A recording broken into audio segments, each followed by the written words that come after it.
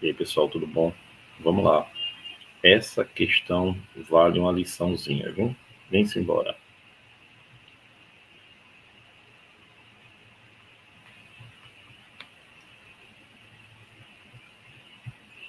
Eita, vamos lá. Pessoal, vê. Ele colocou aí. Um litro de uma solução aquosa contém. Olha o que, é que ele diz que tem na solução. 0,3 mols, certo? De íon sódio. Certo.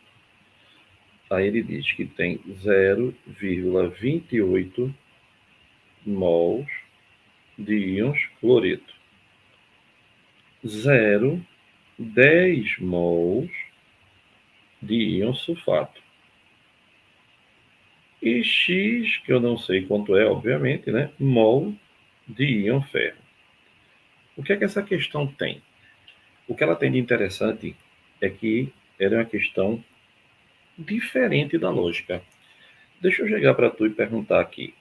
Se eu tiver NaCl e jogar na água Na mais, Cl menos, a quantidade de carga positiva, um mol de carga positiva, tem que ser igual à quantidade de carga negativa. Concorda comigo? Em todo e qualquer sistema químico. Então, quando ele me dá todas essas questões aí, todos esses dados da questão, na verdade o que ele está querendo que eu faça é que a quantidade de carga positiva fique exatamente igual à quantidade de carga negativa. Então, para isso, quanto é que eu preciso ter de ferro? Lembrando que sódio é mais um. Então, 0,30 vezes mais um, dá mais um mesmo, né? 0,3. X vezes mais 3 dá 3x. Porque eu tenho 3 mols de carga, tá? Isso é igual a 0,28. E vai ficar negativo? Não, pessoal. Eu tenho 0,28 mol de carga negativa.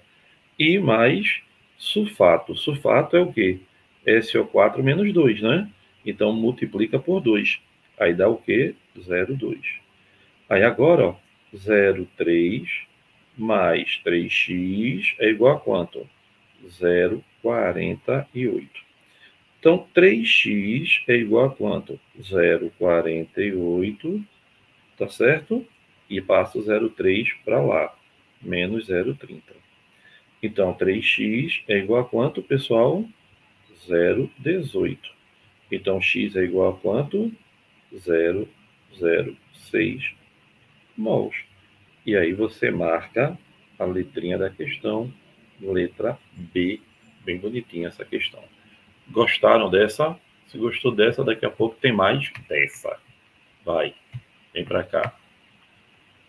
Então, lembra, tá? A quantidade de carga positiva tem que ser igual à quantidade de carga negativa. Vai, beijo, até a próxima.